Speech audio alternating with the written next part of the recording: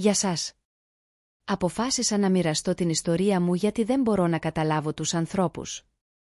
Ήμουν παντρεμένη 15 χρόνια και έχω δύο αγόρια, δίδυμα, στην εφηβεία.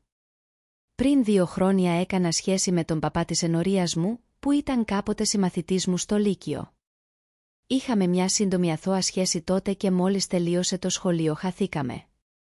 Βρεθήκαμε ξανά στο facebook από κοινούς γνωστούς όταν ο γάμος μου άρχισε να μην πηγαίνει καλά. Είχα μάθει ότι είχε γίνει παπάς και ότι μόλις είχε έρθει στην ενορία μας.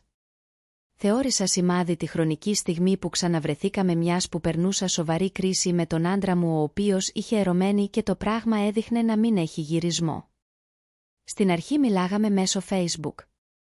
Του έλεγα για τον γάμο μου, για το πόσο απογοητευμένη ήμουν, για τις εκρήξεις θυμού των παιδιών που περνούσαν δύσκολη εφηβεία.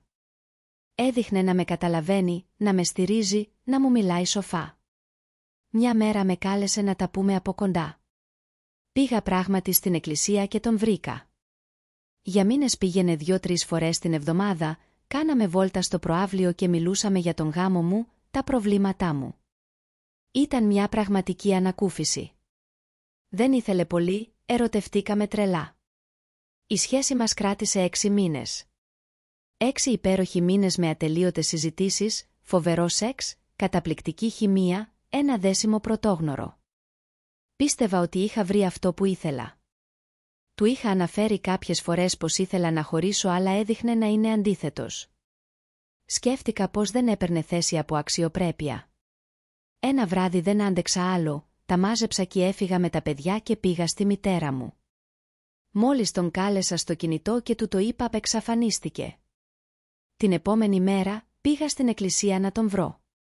Μου είπαν πως κάτι του είχε τύχει και δεν θα ερχόταν εκείνη τη μέρα. Τον έψαχνα μια εβδομάδα, το κινητό του κλειστό, το facebook απενεργοποιημένο, στην εκκλησία μου έλεγαν πως χρειαζόταν να λείψει για λίγο.